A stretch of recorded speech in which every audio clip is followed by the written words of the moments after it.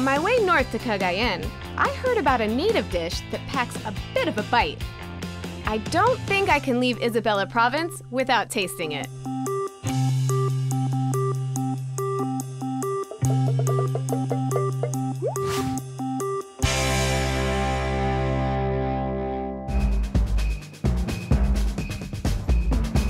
Long ago, when meat was rare in these Isabela jungles, the people got their protein fix from these tiny critters.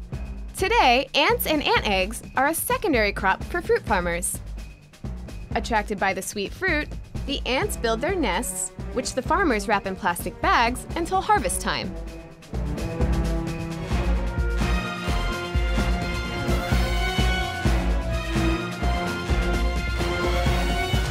The ants of choice are weaver ants. This species of ants not only bites intruders, but sprays acid into the wound as well, causing a world of pain. Collecting eggs means sticking your hand into thousands of these territorial terrors.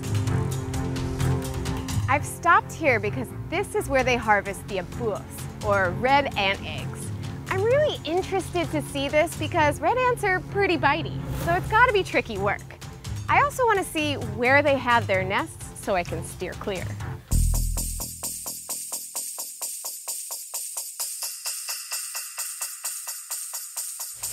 Oh, it looks like he's already in the middle of harvesting, so we came at a perfect moment. Oh, whoa! like I said before, bitey. There are red ants all over there. Watch your feet. Oh, trap. Red ants are just fleeing the scene. And they're all carrying something little and white in their mouths. I wonder if they're the eggs. It's the eggs that are the main attraction, so farmers must pick them out of thousands of angry ants. A queen can produce thousands of eggs every day. Ugh. I'm suddenly feeling very itchy.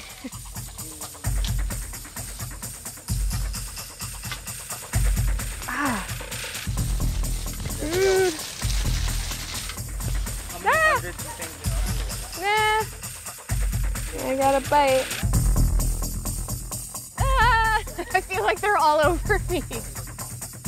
Uh, time for me to flee the scene. Whew.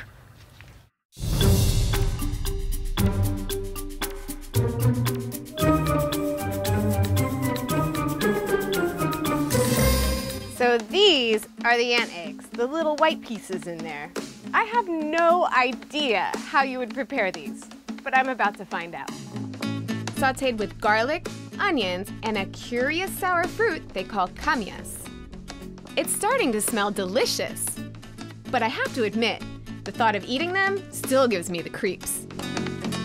So the abuos would take on any flavor the what you cook it with. Yeah. Okay. You can you can cook this with the soup also. With soup? Yeah. Oh. So there's lots of different ways you can prepare yeah. this. Yeah.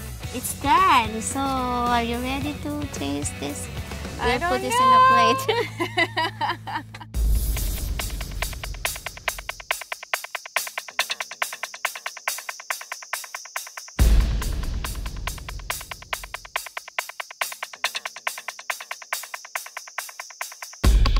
Okay, I have to admit, I'm not sure why anybody would want to go to an ant's nest, harvest the eggs, cook them, and eat them.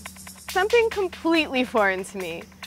I'm not very adventurous with food, but I have to try at least one bite. Just one. I'm kind of nervous.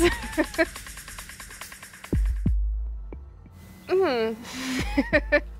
Okay, well, fortunately, it's kind of mushed up, so I can't really make out all the ants.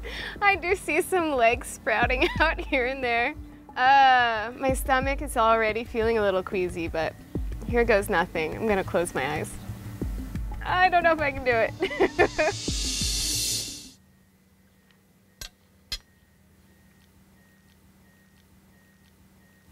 okay, not as bad as I thought. A little crunchy. Yeah, you do mostly taste the ginger, the onion, the fruit. Uh, it's sour. It's mostly the, the texture that I have a hard thing getting over.